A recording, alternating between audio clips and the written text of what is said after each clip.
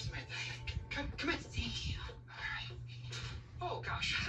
Welcome to my humble workspace. You can never have too many external hard drives. That's what I always say. So, you know, I've been, I've been thinking about what we discussed at the wedding.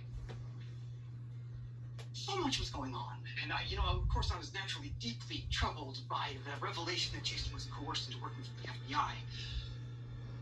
So, upon further reflection, I feel like I just re emphasize that tangling with the Federal Bureau of Investigation is highly ill advised.